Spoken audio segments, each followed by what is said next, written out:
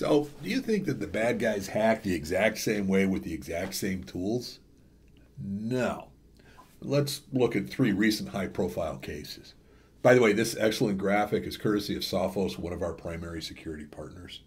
And it's a useful graphic that shows three recent hacks that impacted a lot of companies. By the way, we're not including the Colonial Pipeline hack since that was really a single company. So we've got uh, SolarWinds that was in December of 20. We have the Microsoft Exchange vulnerability, which was in March of 21.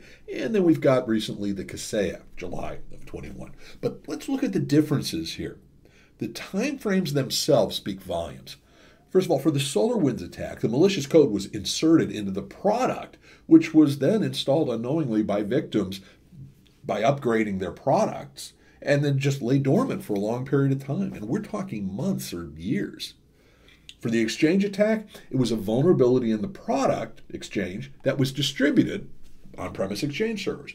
The bad guys then attacked the product once the uh, vulnerability was discovered and understood, they attacked it directly over days and weeks, with many sites being vulnerable long after Microsoft released a patch that would protect these servers.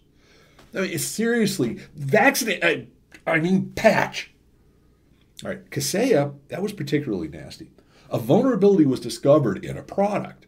Almost immediately, a sophisticated attack was launched against the servers running the product, which led to vulnerabilities in companies relying on those servers because the product was monitoring those companies' network resources. The type of attack was also different between these three uh, stealing, copying data from victims, laterally attacking other network assets, or encrypting data for ransomware. But one thing remains the same the bad guys had a business plan to translate these attacks into monetary gains or stealing information that had similar value to them. Most importantly, each of these attacks required a different type of defensive strategy to protect against. And I'm simplifying here. But here's the thing you can't just put an expensive lock on your front door if your garage door is wide open. Thanks again to Sophos for that great graphic and providing many of my socks, I might add.